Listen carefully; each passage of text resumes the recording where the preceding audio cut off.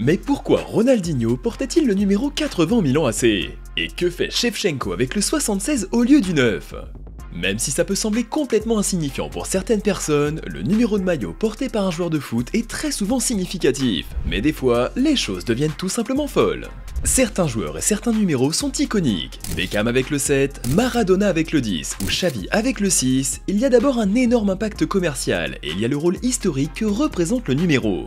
Dans certains clubs, des numéros ont une signification émotionnelle et ils sont réservés à des joueurs iconiques ou aux joueurs favoris. À Barcelone, le numéro 6 est considéré comme spécial par les supporters et c'est principalement grâce au succès que Xavi a eu en le portant. Le jeune crack Gavi est le nouveau numéro 6 du Camp Nou et il espère suivre les traces de son entraîneur. À Manchester United, c'est le numéro 7 qui a été porté par des légendes du club. D'abord George Best et Dennis Lowe, puis le très apprécié Eric Cantona, et enfin des stars mondiales comme David Beckham et Cristiano Ronaldo. Au Real Madrid, le numéro 9 a été porté par certains des plus grands buteurs de l'histoire. Fernando Morientes, Davor Suker et les deux Ronaldo ont eu le droit d'avoir le numéro 9 au Bernabeu. Mais au Milan AC, l'histoire est complètement différente et la raison devrait vraiment vous surprendre. Si vous regardez certains des numéros portés au cours des dernières années par les joueurs, vous remarquerez quelque chose de différent.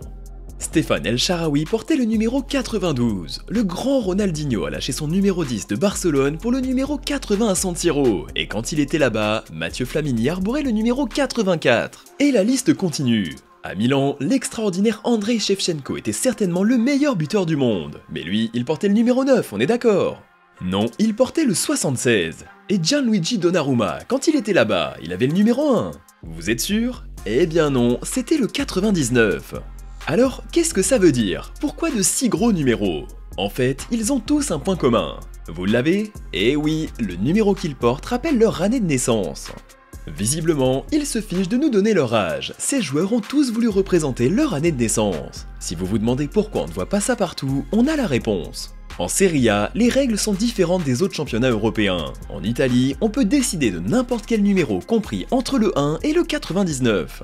Ailleurs, ces règles sont beaucoup plus strictes et plus claires, mais cette règle-là a à des situations vraiment étranges et même absurdes. Vous vous souvenez de l'attaquant chilien Ivan Zamorano qui jouait à l'Inter? Quand il était au club, son numéro préféré, le 9, était déjà pris. Du coup, il a le droit de faire 1 plus 8, ce qui fait 9. Et ils disent que les joueurs ne sont pas superstitieux, bien sûr. Un autre exemple d'un joueur qui a combiné deux numéros, c'est Jude Bellingham à Dortmund. On s'attend tous à ce qu'un joueur de son niveau porte un numéro familier, mais en fait, il a décidé de prendre le 22 partout où il passe, et la raison montre toute sa confiance et sa belle mentalité. Plus jeune, alors qu'il jouait à Birmingham, il avait du mal à trouver son poste de prédilection. Puis pour le challenger, son entraîneur lui a dit ceci Tu peux tout faire.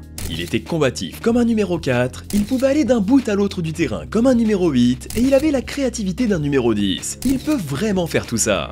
Et à partir de là, Bellingham a décidé de porter le numéro 22. 4 plus 8 plus 10, tous ensemble pour ne faire qu'un, pour montrer à tout le monde qu'il pouvait tout faire.